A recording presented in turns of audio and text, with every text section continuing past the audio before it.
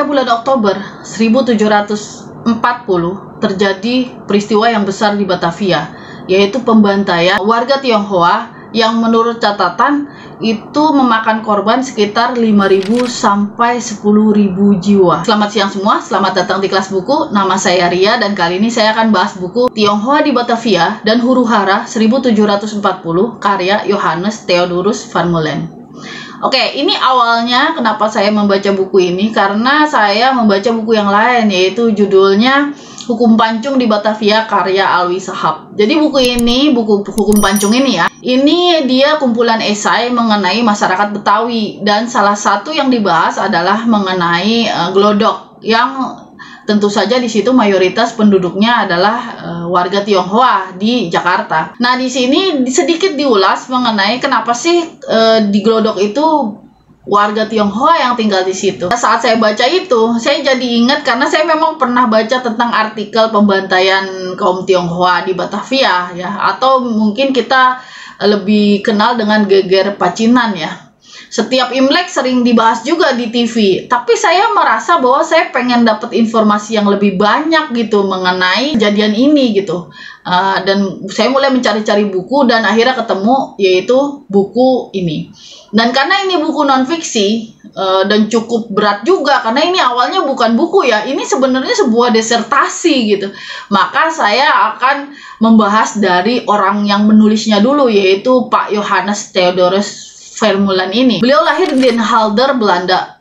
Pada awal abad 20 pada tahun 1935 ia mengikuti ujian Belanda untuk menjadi pegawai negeri dan lulus. Setelah itu dia berangkat ke Hindia Belanda dan ditempatkan sebagai controller Lalu kemudian pada tahun 1938 dia diangkat sebagai deputi arsiparis di Lembaga Arsip Negara di Batavia. Selama bertugas di Batavia ini, Pak Yohanes menjalin hubungan baik dengan para intelektual Tionghoa. Nah, kemudian dia menempuh pendidikan doktornya di Fakultas Sastra dan Filsafat di Universitas Leiden dan menulis disertasi berjudul uh, ini Desertasi ini kemudian diterbitkan menjadi buku dan diterjemahkan dalam beberapa bahasa. Salah satunya adalah bahasa Indonesia. Buku ini kemudian menjadi acuan untuk studi mengenai huru hara tahun 1740. Tapi sayangnya setelah invasi Jepang, Pak Yohanes ini nggak ada kabar beritanya lagi gitu. Ada kemungkinan beliau diinterir oleh Jepang ya pada saat pendudukan tersebut. Nah, buku ini terdiri dari lima bab jadi bukan cuma bahas mengenai jalannya huru hara, tapi juga membahas dari awal banget kenapa di Batavia bisa banyak warga Tionghoanya. Uh, sebelum bab satu itu ada dua pendahuluan. Pendahuluan pertama itu ya mengenai Pak Yohanes dan pendahuluan yang kedua itu dijelaskan mengenai sistem hukum di Hindia Belanda. Jadi uh, sistem hukum di Hindia Belanda ini tidak menganut persamaan derajat di mata hukum. Kalau orang-orang Belanda atau warga Eropa, dia punya sistem hukum sendiri. Dia memakai sistem hukum Eropa. Sementara kalau warga pribumi, dia akan diadili dengan sistem hukum sendiri, yaitu sistem hukum tergantung sukunya apa gitu. Nah uniknya buat orang Tionghoa, sistem hukumnya ini dia nggak jelas gitu. Jadi kalau misalnya orang-orang Tionghoa ini atau warga Tionghoa ini dia ada masalah perdata, masalah bisnis, warisan atau yang lain, dia akan diadili menurut hukum Belanda. Tapi kalau dia ada masalah kriminal, pencurian, pembunuhan, eh, pemerkosaan, dia akan diadili sesuai hukum pribumi. Karena menurut Belanda, warga Tionghoa ini kan bukan warga Belanda, bukan warga Eropa, jadi dia tidak punya keistimewaan tapi karena bisnisnya ada hubungannya dengan warga Belanda atau warga Eropa maka kemudian kalau masalah perdata dia diadilinya dengan hukum apa gitu. Jadi bisa dilihat di sini bahwa keadaan mereka sebetulnya sangat terjepit sekali, tidak dianggap sebagai Belanda, tidak dianggap juga sebagai pribumi. Kenapa mereka bisa ada di sini? Jadi di bab satu ini dijelaskan Zan Peter Zunkun ketika dia pengen membangun kota Batavia, sebelumnya kan dia lama di Banten tuh di Banten dia punya hubungan baik dengan orang-orang Tionghoa di sana para pedagang Tionghoa di sana ketika dia mulai membangun kota Batavia dia berpikir bahwa orang yang bisa membangun kota Batavia atau orang yang akan dijadikan uh, bisa dibilang partner-partner bisnisnya dia adalah orang-orang Tionghoa. Pertama, uh, Jan Peter Zunkun ini sebenarnya tidak percaya dengan orang-orang Eropa, khususnya orang Belanda. Menurut Jan Peter Zunkun, jadi kalau misalnya orang Belanda itu datang ke Indonesia, datang ke Hindia Belanda maksudnya, mereka tuh cuma nyari uang doang. Mereka nyari uang, selesai kaya, setelah mereka kaya, ya udah mereka pulang lagi mereka nggak punya keinginan untuk membangun sesuatu di sini. Makanya menurut Pak Jangkung ini orang-orang e, Eropa nggak bisa dipercaya untuk membangun kota. Nah, kalau penduduk pribumi, Pak Jangkung nggak mau memberikan kekuasaan karena kalau diberikan kekuasaan mereka akan terjadi pemberontakan kan. Maka mereka juga tidak dipercaya oleh Pak Jangkung. Pak menginginkan e, orang Tionghoa yang memegang perekonomian karena itu satu ya. Yang kedua, dia ingin menjalin hubungan dengan negara Cina sebagai partner bisnisnya dia. Akhirnya Pak Jangkung ini melakukan berbagai macam upaya gimana caranya agar orang Cina datang ke e, Batavia gitu. Ya dari mulai mere dia merekrut, dia minta orang-orang Tionghoa itu pindah ke Batavia, kemudian dia juga melakukan blokade terhadap uh, Jung Jung Jung itu kapal-kapal dagang gitu yang pergi ke mana-mana dia blokade terus kemudian dia alihkan ke Batavia semua suruh pindah semua sampai dia melakukan tindakan-tindakan ilegal gitu ya. Di sini ada instruksi tertanggal 9 April 1622 diberikan pada Komander Cornelis Reyes untuk pergi ke Tionghoa selain berdagang juga mencari imigran. Jika perdagangan tidak dapat dilakukan, dia perintahkan mengganggu orang Tionghoa di sepanjang pesisir Cina dan berusaha menculik orang sebanyak mungkin, baik itu laki-laki, perempuan, maupun anak-anak. Nah, pada masa Zan Peter Zunkun ini juga e, dilantik seorang warga Tionghoa sebagai kapiten. Jadi kapitan Tionghoa ini dia bertugas untuk menyelesaikan perselisihan-perselisihan kecil antara warga Tionghoa gitu. Nah, kapitan yang pertama namanya So Bengkong. Tapi pada tahun 1665 di bawah pemerintahan Gubernur Jenderal Matt Saker, dia uh, merubah jalannya kebijakan. Jadi gubernur jenderal yang ini berbeda banget sama JP Kun. Dia malah ingin memberikan lebih banyak kepercayaan kepada warga Eropa.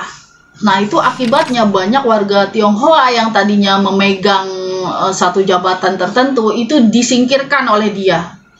Tapi kemudian bersamaan dengan itu, justru semakin banyak warga Tionghoa yang pergi ke Batavia. Pertama nih ya, ada perang di Banten. Perang ini mengakibatkan warga Tionghoa yang di Banten itu semua pada lari ke Batavia. Kemudian di negara Cina sendiri pun terjadi masalah gitu. Pada saat itu kaisar kekaisaran Ming jatuh gitu dan itu kan terjadi huru hara tuh di Tionghoa sendiri di Tiongkok nah karena terjadi huru hara itu maka kemudian muncullah imigran besar ya, sejumlah imigran gitu yang banyak datang ke Batavia. Sampai di Batavia mereka ditolak gitu. Mereka disuruh pulang lagi. Mereka disuruh masuk lagi ke dalam kapal mereka datang kemudian pulang lagi ke sana. Atau kalau ada yang menolak gitu untuk masuk lagi kapal mereka dirantai. Dan dirantai itu ya dirantai aja gitu. Sampai kapal selanjutnya itu atau kapal yang membawa mereka tuh datang lagi dan dibawa pulang mereka lagi ke Tiongkok gitu kan. Tapi yang jadi permasalahan adalah di sini banyak orang-orang yang kemudian bisa mengakali aturan itu. Banyak orang-orang Tionghoa tetap masuk ke Batavia secara ilegal dan kemudian menjadi penduduk ilegal di bab 2 kita akan dibahas mengenai uh, apa sih penyebab langsungnya uh, terjadi huru hara gitu. Jadi bener ini bisa dibilang bukan penyebab yang langsung dar gitu. Enggak, jadi memang ada step-stepnya gitu. Dimulai dengan krisis ekonomi. Pada tahun 1725 terjadi krisis ekonomi, harga gula jatuh. Padahal kan komoditi gula itu komoditi yang paling menguntungkan lah dari semua komoditi Belanda yang lain ya. Dengan jatuhnya harga gula ini menyebabkan banyak eh, pedagang-pedagang uh, yang kemudian jatuh juga perekonomiannya. Ditambah dengan korupsi. Terus para peminjam modal nggak bisa bayar. Ditambah lagi warga Tionghoa ini banyak sekali harus bayar berbagai macam pajak yang dibebankan terhadap mereka. Banyak orang-orang kaya yang kehilangan kekayaannya dan kemudian menjadi pengangguran. Situasinya menjadi tambah sulit ya di uh, dalam kota itu. Setelah semakin banyak pengangguran dilanjutkan dengan tingkat kejahatan yang semakin tinggi. Yang kemudian menyebabkan Gubernur Jenderal Derek Durfet membuat peraturan nih. Yang peraturan ini semakin memberatkan warga Tionghoa gitu. Mereka harus punya izin tinggal. Siapa pun, walaupun yang udah yang udah lama tinggal di Batavia, tetap harus punya izin tinggal dan harus diperbarui setiap enam bulan sekali. Tentu saja memperbarui itu harus bayar. Dan kemudian kalau mereka tidak memperbaharui izin tinggal, mereka akan dianggap sebagai penduduk ilegal. Kemudian si gubernur jenderal ini dia memberikan perintah kepada opsir-opsir Tionghoa. Jadi opsir Tionghoa itu bawahannya kapitan ya. Kan tadi ada kapitan Tionghoa, ada opsir-opsirnya. Nah, opsir-opsirnya ini disuruh untuk mendata penduduk. Mana penduduk yang berguna, mana penduduk yang nggak berguna. Jadi kalau nggak berguna, kamu diusir dari Batavia. Kalau penduduk berguna, kamu boleh tinggal, tapi kamu harus bayar pajak per kepala setiap beberapa bulan sekali. Itu aja kan udah berat ya. Kita bisa ngelihat bahwa itu berat. Tapi ternyata para opsir-opsirnya ini nakal. Jadi kebanyakan dari mereka mengambil uang dari orang-orang Tionghoa yang didaftar tapi tidak dilaporkan kepada uh, pemerintah Belanda. Sehingga dua-duanya kan panas. Pihak Belanda bingung kenapa ini tidak berhasil juga padahal sudah diminta untuk ada daftarnya mana sih penduduk yang berguna dan tidak berguna. Maksudnya yang tidak berguna mau diusir nih dari Batavia tapi daftarnya nggak selesai-selesai. Yang dari pihak warga Tionghoanya bingung kenapa mereka disuruh bayar banyak, tapi terus disuruh bayar lagi, disuruh bayar lagi nggak berkesudahan. Mana mereka sedang krisis ekonomi gitu kan, dua-duanya kemudian uh, uh, terjadi ketidakpuasan lah. Yang ini tidak puas dengan pemerintah, pemerintahnya juga sangat kesal dengan rakyatnya yang nggak bisa diatur menurut pemerintah. Pada tahun 1739 ini uh, situasi ini semakin memuncak ya pada saat perayaan Imlek tahun 1740 setahun kemudian 100 orang ditangkap di Bekasi dan Tanjung Priuk menyebabkan kapal-kapal dagang takut merapat di Batavia. Jadi pengusaha-pengusaha Tionghoa yang ada di luar Batavia di daerah-daerah lain itu kan punya bisnis nih sama orang Tionghoa yang ada di dalam kota Batavia mereka menyalurkan beras, sayur-sayuran, bahan pangan. Tapi karena terjadi penangkapan-penangkapan ini menyebabkan para pengusaha ini tidak mau mengirimkan barang dagangannya ke Batavia. Nah ini kan akhirnya di Batavia terjadi kekurangan pangan dong. Itu kemudian semakin memanas lah. Nah pada tanggal 27 Juli itu ada laporan masuk ke pemerintah Belanda bahwa serombongan besar orang Tionghoa mulai bergerak menuju pos-pos terluar di Batavia. Pada bulan September mulai terjadi keributan-keributan nih di luar tembok. Nah, itu bulan Juli. Selanjutnya pada tanggal 3 sama 4 Oktober 1740 terjadi kerusuhan lagi yaitu di uh, Mister Cornelis atau sekarang namanya Jatinegara dan Tanah Abang. Di situ 50 pasukan Belanda tewas di kerusuhan itu. Tanggal 3, tanggal 4 itu terjadi kerusuhan, tanggal 5 uh, eh, sempat masa tenang, tanggal 6 dan tanggal 7 ada laporan masuk mengenai penjualan ratusan batang bambu. Nah, ini menyebabkan pihak Belanda mulai semakin khawatir, tapi mereka tidak melakukan apa-apa. Kenapa? Karena pada saat itu pejabat Belanda itu mereka saling berantem sendiri gitu. Mereka saling berdebat gitu mengenai apa yang harusnya dilakukan. Nah, besok harinya orang-orang Tionghoa yang sudah sampai di luar tembok kota ini mulai masuk ke dalam kota kan pada tanggal 8 Oktober pagi. Siang-siangnya langsung diadakan pertemuan darurat dengan tidak adanya perencanaan dan segala macam tentu saja pertemuan darurat itu isinya adalah e, semacam kepanikan para Eh, pejabat Belanda. Kemudian mereka mengeluarkan aturan. Aturannya ada tiga. Satu, melarang warga Tionghoa di luar tembok kota untuk memasuki tembok. Nomor dua, semua warga Tionghoa yang menolak untuk menyerahkan senjata mereka akan ditembak. Dan yang ketiga, warga Tionghoa akan diberitahui dengan kecer bahwa mereka harus tetap berada di dalam rumah setelah jam setengah tujuh malam menutup pintu tidak diperkenankan untuk menyalakan lampu. Siapa pun yang masih di jalan akan langsung ditembak. Tiga keputusan inilah yang menjadi penyebab langsung pembantaian warga Tionghoa pada besok harinya yaitu tanggal 9 Oktober 1740. Bab 3 di buku ini mungkin merupakan bab paling susah diletakkan. Itu benar-benar kita bisa bacanya cuma sekali baca gitu. E, sekali pegang gitu. Tiga ini menceritakan bagaimana terjadinya pembantaian itu. Jadi dari pagi itu sudah sudah terjadi karena banyak opsir-opsir Belanda kan langsung bergerak tuh malam-malam tuh. Uh, mereka mencari orang-orang Tionghoa yang masih di jalan kan sesuai dengan aturan yang kemarin. Mereka melakukan penggeledahan-penggeledahan di rumah gitu untuk mencari senjata. Cuma masalahnya yang katanya senjata itu sangat lebar ya. Pisau juga bisa dijadikan senjata dan di rumah pasti ada pisau. Itu sebabnya orang-orang Tionghoa itu pada digeretin di keluar rumah dan disembelih. Rumah mereka dibakarin. Bahkan banyak yang mereka itu tidak tahu menahu tentang apa pun gitu. Jadi ketika uh, para opsir-opsir Belanda ini masuk mereka kan menemukan banyak sekali emas gitu, uang. Uh, jadi penduduk Tionghoa ini pun mereka punya kebiasaan senang menabung kan. Uh, mereka beli emas banyak disimpan dalam rumah. Ketika mereka menemukan emas ya udah mereka bunuh aja semua yang lain, emasnya mereka ambil. Selain perintah penggeledahan yang kemudian diterjemahkan menjadi pembantaian dan penjarahan, juga mulai dihembuskan desas-desus kepada kelompok etnis Bali dan Bugis bahwa orang-orang Tionghoa berencana untuk membunuh atau memperkosa orang-orang pribumi dan menjadikan mereka sebagai budak. Maka kelompok Bali dan Bugis pun mengamuk dan mulai membakari rumah-rumah milik orang Tionghoa di sepanjang kali besar. Kemudian disusul oleh serangan Belanda di rumah-rumah orang Tionghoa di dalam pagar kota. Jalannya pertikaian dan pembantaian terus berlangsung. Para prajurit Belanda ini sama sekali tak pandang bulu Laki-laki, perempuan, anak-anak, termasuk para pasien rumah sakit dan tahanan di penjara ikut disembelih di lapangan gedung yang sekarang menjadi Museum Sejarah Jakarta atau Museum Fatahillah. Pada pukul 17 waktu Indonesia Barat atau pukul 5 sore, meriam mulai ditembakkan ke arah rumah-rumah Tionghoa. Banyak yang mati di dalam rumah atau bunuh diri. Kebakaran di rumah-rumah Tionghoa ini baru padam pada tanggal 12 Oktober 1740.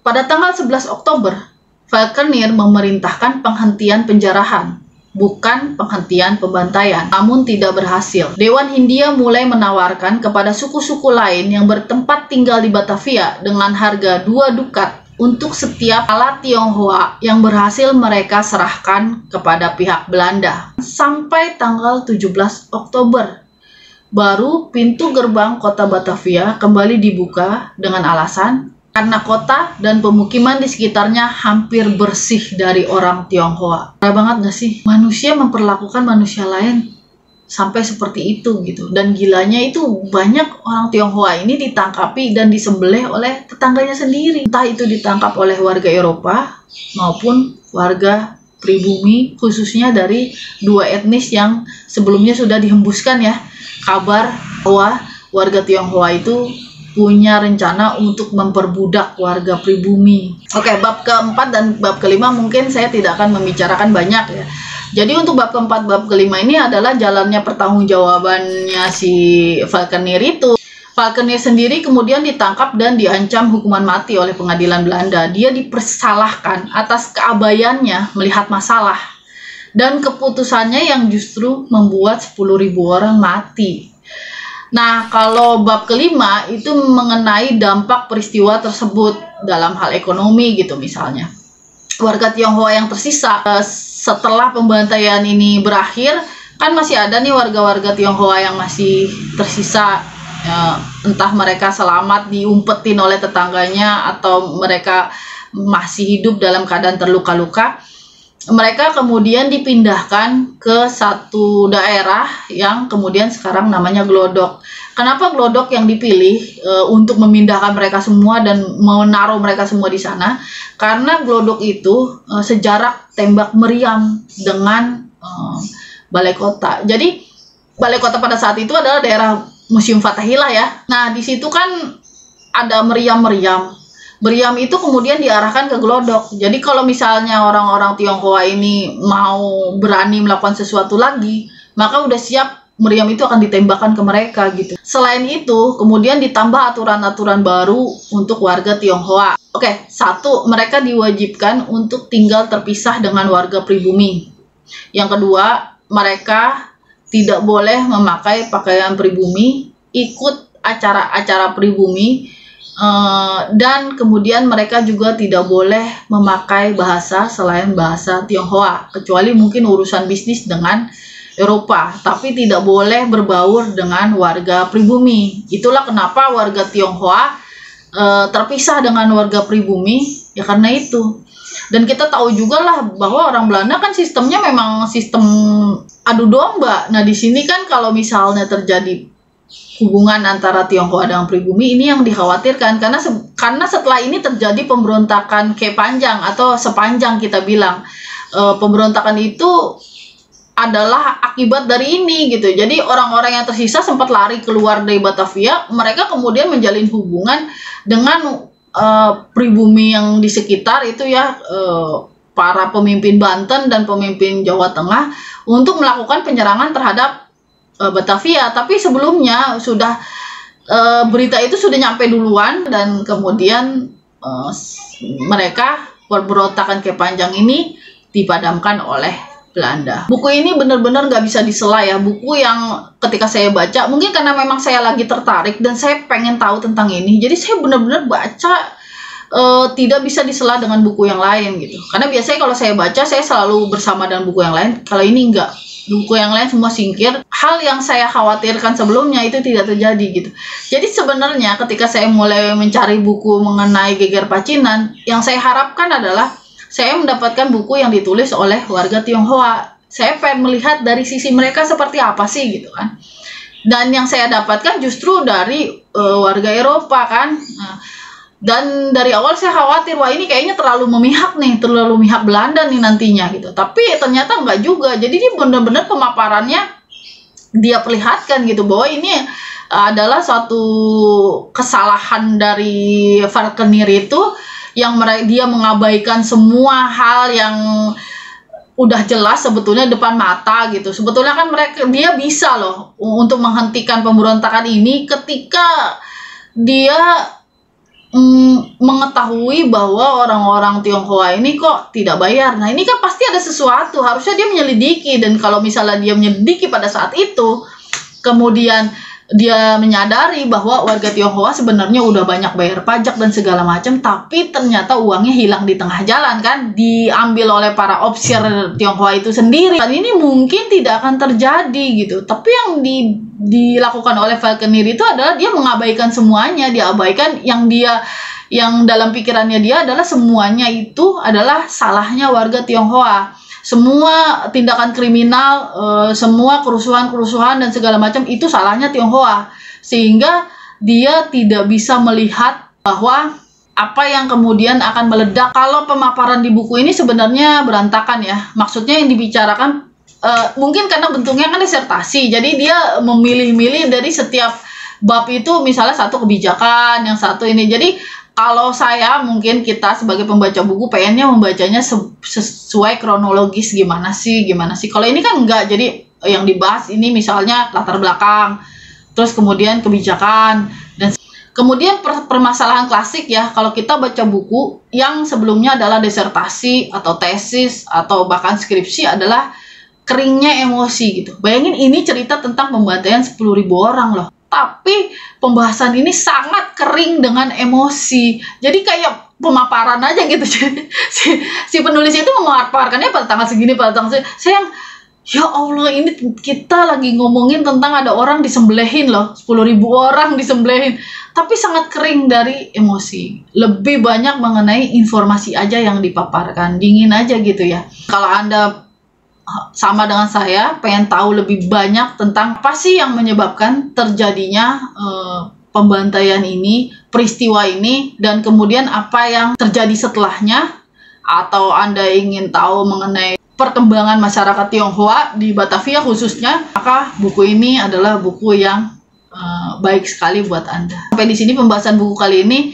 Uh, kalau ada yang tersinggung atau ada kesalahan dalam pembahasan topik kali ini, saya mohon maaf. Tolong ditulis aja di kolom komentar di bawah ya. Akhir kalam, Assalamualaikum warahmatullahi wabarakatuh.